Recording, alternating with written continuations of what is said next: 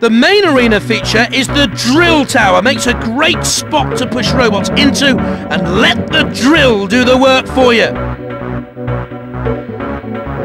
You need to watch out for the flame pipes. Nasty gouts of flame burst out when the valve is switched on. Be careful of the gaps in the fences. It's easy to push a robot off the side and into the water below.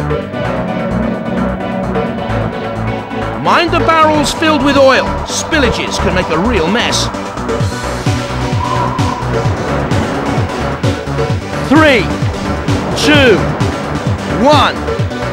Activate! The crowd getting restless, waiting for them to get going.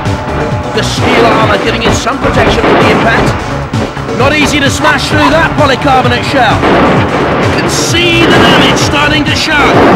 The flame breaks now, gushing fire as the valve is open trying to cut its way through the polycarbonate.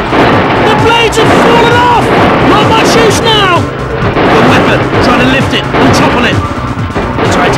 standing up well to the punch. Not too hard to cut into the aluminium, but it's putting up a brave fight. Their spike's been broken off! This is what Robot Wars is all about! Carnage!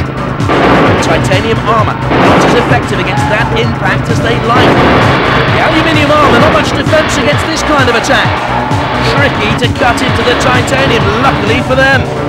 And they drove straight through the gap! Stupid was that?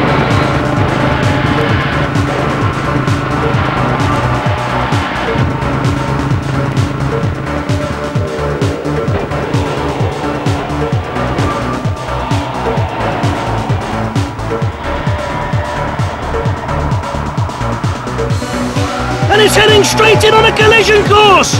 They can't right themselves, something's wrong. It looks like they're out of the contest.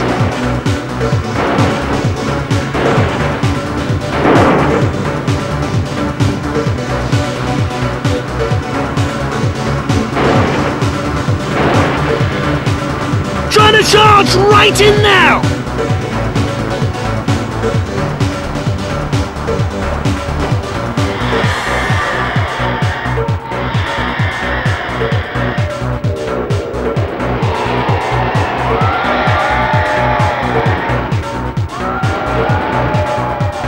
In it comes for an attack now!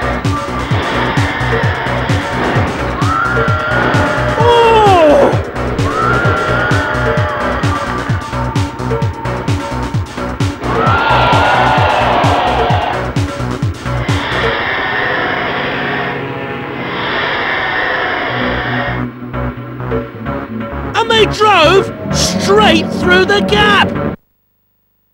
Cease!